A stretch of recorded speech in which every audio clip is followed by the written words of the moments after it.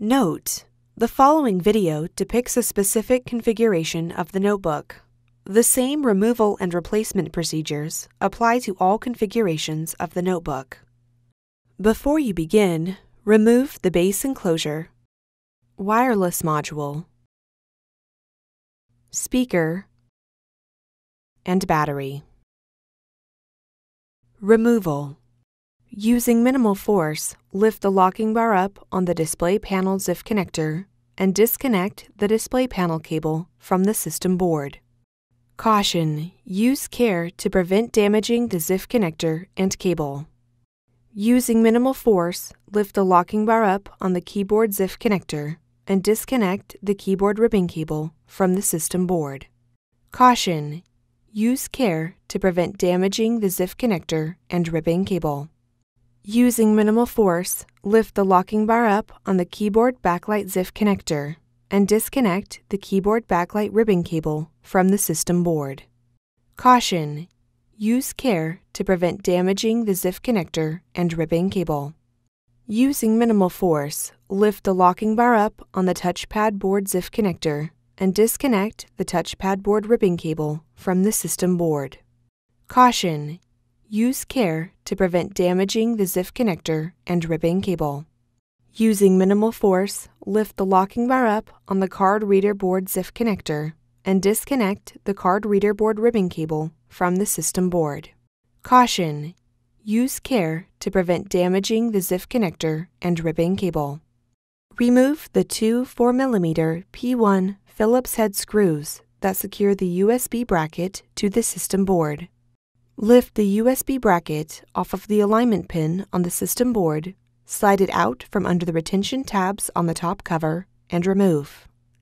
Remove the two 2.5mm P1 Phillips broadhead screws that secure the heatsink over the processor in numerical order. Remove the 2.5mm P1 Phillips broadhead screw that secures the system board to the top cover. Carefully release the system board from the retention tab, lift the edge of the system board out of the alignment pins, and slide the external connectors out of the cutouts in the top cover. Replacement Note: Before installing a system board, remove the following from the old system board and install on the new system board. Heatsink Tow the external connectors on the system board into the cutouts in the top cover, lower the system board onto the alignment pins, and place it under the retention tab. Caution! To avoid damage, ensure that all cables are free from being pinched between the system board and top cover.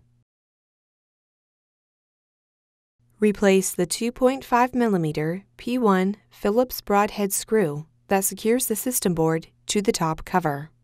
Replace the two 2.5mm P1 Phillips broadhead screws that secure the heatsink over the processor in numerical order.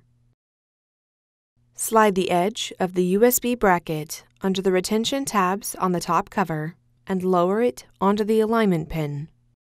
Replace the two 4mm P1 Phillips head screws that secure the USB bracket to the system board. Insert the card reader board ribbon cable into the card reader board ZIF connector on the system board and press the locking bar down to lock the cable into place. Caution: Use care to prevent damaging the ZIF connector and ribbon cable.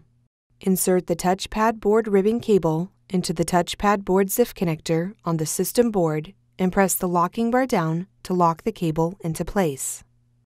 Caution: Use care to prevent damaging the ZIF connector and ribbon cable. Insert the keyboard backlight ribbon cable into the keyboard backlight ZIF connector on the system board and press the locking bar down to lock the cable into place. Caution! Use care to prevent damaging the ZIF connector and ribbon cable. Insert the keyboard ribbon cable into the keyboard ZIF connector on the system board and press the locking bar down to lock the cable into place. Caution! Use care to prevent damaging the ZIF connector and ribbon cable. Insert the display panel cable into the display panel ZIF connector on the system board and press the locking bar down to lock the cable into place. Caution! Use care to prevent damaging the ZIF connector and cable. Important!